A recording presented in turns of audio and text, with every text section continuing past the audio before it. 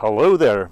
One of my viewers just told me that him and his pals are using my videos as a drinking game. Every time I say it's so much fun, they'll have a shot. So that's not why I'm making these videos, but uh, it's always nice with feedback. Thank you, Tony, and thanks for subscribing. Uh, today is Saturday, and I just came from a meeting with uh, some apostates from Denmark. We're planning the Copenhagen protest this year, and they are really great people.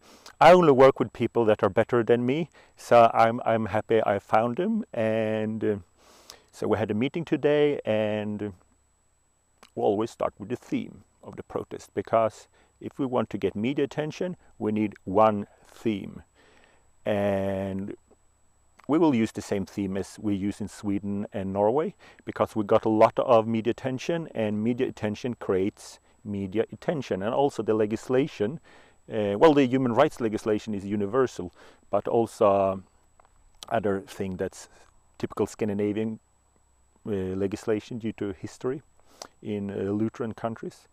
So the protest will be hashtag all religions must, and the message that all religions must respect human rights, and especially the UN charts of the rights of a child. And it's easiest to start with this in Scandinavia because in Scandinavia uh, witnesses get government funding. So we argue that the witnesses must be given a choice either they respect human rights or they lose their funding.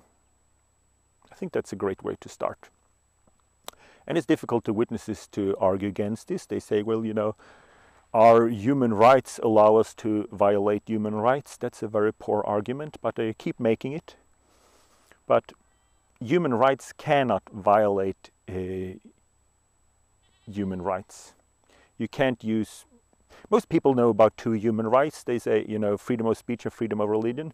That's just the top of iceberg. There's a lot of uh, freedoms, and none of them can uh, violate another freedom.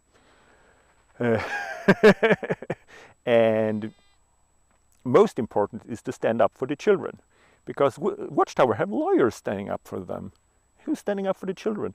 We have a lot. Of, I read a lot of um, stuff in, in, Norway. They try to.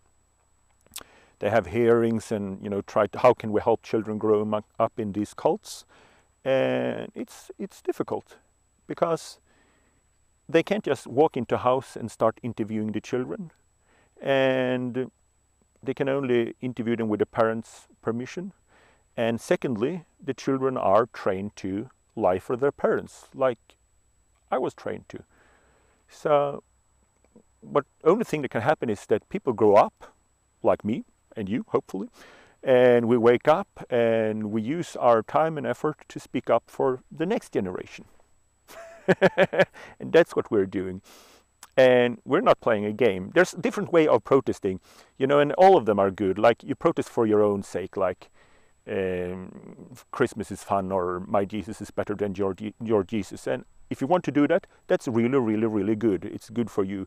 Uh, and you're allowed to have your own protest. But you cannot piggyback on our protest. We put a lot of effort into this, and this will be a one message secular protest hashtag all religions must. So, and we are in a row. We have got a lot of attention and um, like I said, attention creates attention. And these I only work with people that are better than me. And the people I met now, they are really serious. Like last week, uh, they were in the Danish Congress on a hearing on those issues and were speaking up. So I'm really looking forward to this. So but we would need people to help us, people volunteer, people holding up signs, people.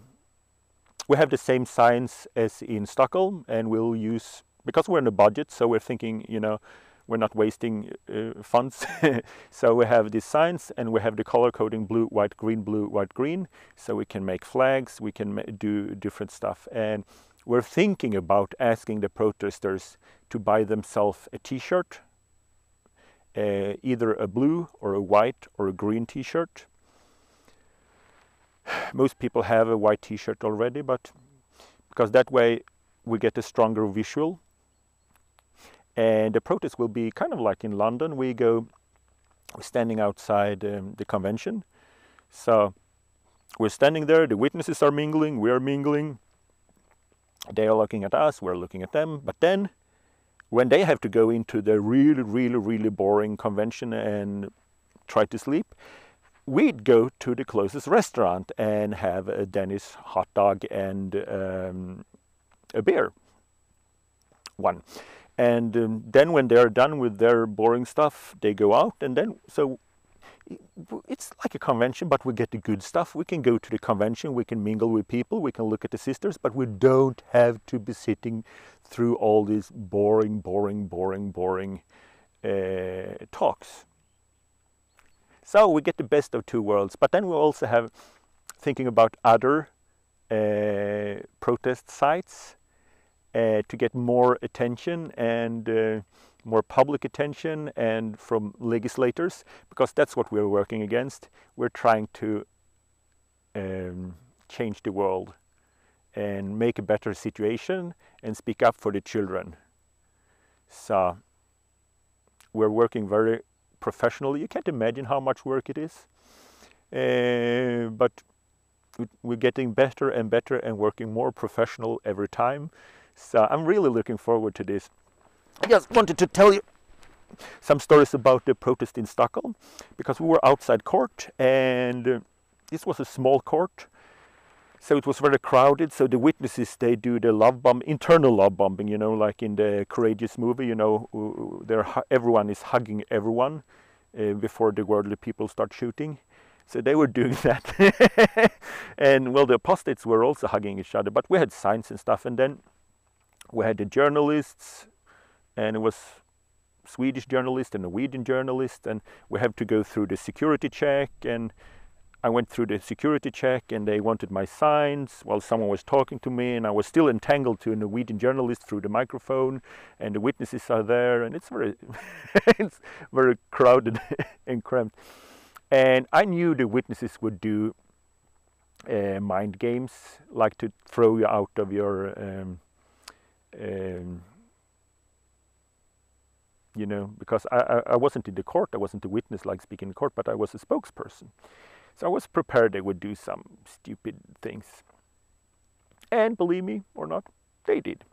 So after the court, we were there and there were journalists and there were cameras everywhere. One of them, and I was actually prepared, they would go up and speak to me and pretend that shunning doesn't exist in front of the camera. So I was mentally prepared to that. And believe it or not, that's exactly what they did. So it's actually an old friend of mine. Um, we used to pioneer together. He's a circuit overseer now. And he came to me and said, Hello, Jonas, how nice to see you. I said, Well, hello. And his name, Hello, nice to see you too. He said, How's your wife? And I said, Well, my wife left me. Oh, so she doesn't want to be with you. No, well, technically she, she doesn't. How's your parents? I say, Well, I have no contact with my parents. Oh, so they have no contact with you. No, you, you know what how Jehovah's Witnesses behave to uh, disfellowship people. I'm an apostate.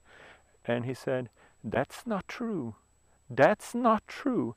I know your parents want to have contact with you. uh, they do stuff like that. So if you're planning a protest, you have to be aware of they, they, they do all stuff like that and that's actually emotional hard uh, because even though I was prepared I, I, am Swedish. I grew up down there so and when I woke up I realized that you know Jehovah Witness love it's not real love it's it's uh, conditioned that we love you as long as you believe in Santa Claus stuff like that. So if you don't believe in Santa Claus we don't love you anymore. And uh, so one of the reasons why I moved back to Norway up here was kind of distance myself from my family. That's really sad because I've actually always been a super witness and really didn't do anything wrong, but still I had to move away from my family for, for strategic reasons. Not that I had done something wrong, but I just knew that sooner or later this Pimo thing, fading thing won't work. So that's sad and I have a lot of memories from Stockholm. Uh, I didn't grow up in Stockholm. I'm a from I'm from a rural area, believe it or not. But uh, my great grandparents came from Stockholm uh, on my mother's side, all of them. Uh, they came to the truth in Stockholm. Uh, but I, my other grandfather, he was a funny guy because he was the kind of guy that never died. He just lived and lived and lived. And he was like almost 100 years and he was on the subway alone. And he was this hooligan uh, harassing people. And um, he came closer to him and he just thought, it's better to kill than be killed. So when this young hooligan came to my 99 year old great grandpa, my great grandpa just punched him in the face, face and he had a technical uh, knockout. One punch. That's my great grandfather, uh, almost 100 years old. so he's dead now. He was stabbed in a bar fight. nah, he died the old fashioned way, but no, he was a cool guy. Anyway, so when I was in Stockholm, I'm just like a short bus ride for my mother to come up and visit me. And you know, if she would have, she would absolutely love that. Go up to Stockholm, meet on neutral grounds, just go around and look at museums, you know. And uh, if she would have told me that, you know, we can do that and not talk about the truth, I would have done that for her, obviously. I don't like the governing body telling me what subjects I'm allowed to talk to with my parents. So I wouldn't do that to anyone else, but I would do it to my mother, of course. She's a nice person. And uh, she would actually love that. Just go around one day. But she's not allowed to do that. She will die in Armageddon, according to them. So I was thinking, I'm not a religious person anymore. I don't believe in the, the biblical mythology and stuff like that. But think about the Jesus you find in Bible in the Bible. If he's a historical person or not, I honestly don't care. But according to the book, he was a great guy. And uh, imagine if he would talk to my mother and said, What's this I hear? Have you been talking to an apostate? Don't you know that's a capital offense? How can you defend yourself? And she would say, Well, you know, it's my son, and I love him. I gave birth to him. I just wanted to meet him and, you know, see if he were doing well. And then he would turn to my own pioneer body, the Watchtower representative, and say, I heard you've been talking to um, apostate. That's a capital offense. What do you have to, how can you defend yourself? And the Watchtower representative say, well, I'm a Watchtower representative, and as a Watchtower representative, I'm allowed to talk to apostates because they are, according to Watchtower. Could you imagine, you know, the, the, the, the Jesus you find in the Bible would condemn my mother while giving thumbs up to the Pharisees? That's disgusting.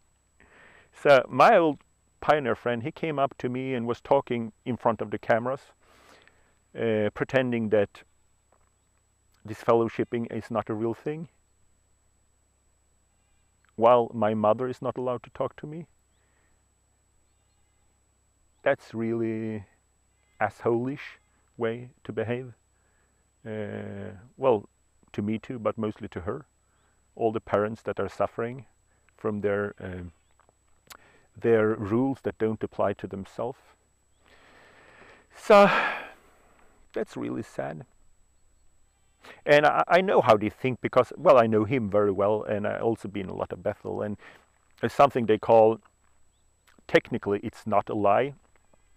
So they say stuff that's technically true, and therefore they believe they're talking the truth. Like he said, so your wife doesn't want to be with you. Well, that's technically true. And the other thing he said, I know your parents want to have contact with you. That's technically true. but another thing that's true, that's who told them that they're not allowed to. That's the watchtower. So watchtower representatives are allowed to talk to me.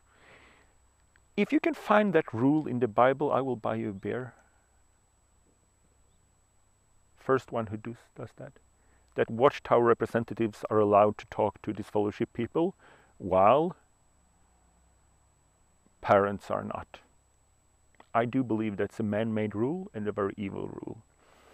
So, So when I was in Stockholm, there was a lot of childhood memories from there, like family and stuff. And one of the good things with growing up as a witness, because there's a good thing too, that I really like, is that's as a witness you learn that you can be alpha male and still cry.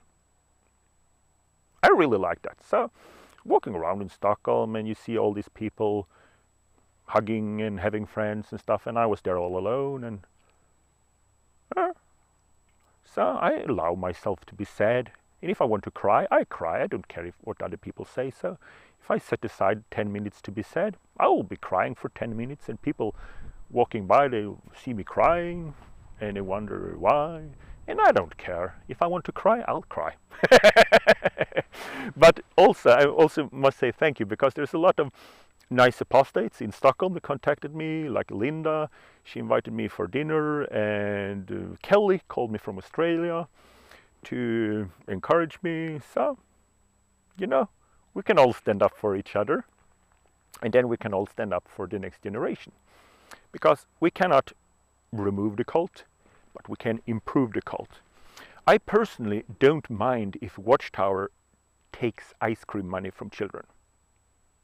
I do not mind if Watchtower take ice cream money from children, as long as the kids gets ice cream. we can't remove the cult, but we can improve it. So, I'm really looking forward to the Danish protest, and I think it's always nice to meet other people, share experience. So, when I was walking around in Stockholm, I was thinking about the song. It's a Swedish song that's kind of sad song, but it reminds me about how it is to be shunned or be Pimo. So I thought I maybe can try to sing it for all the people that helped me uh, and encouraged me when I was in Stockholm. Don't laugh, it goes like this. Se mig för här, här jag Låt mig få komma nära till era hjärtan så som den jag är. Den jag försöker vara, se mig för här är jag. Min enda längtan nu den är, älska mig för den jag är. Se fjärilvingeslag i alla himlar fara, i alla ögon blinka stjärneljus. Låt livet komma nära, se mig för här är jag. Min enda längtan nu den är, älska mig för den jag är. Min enda längtan nu den är Älska mig för den jag är So, see you in Denmark.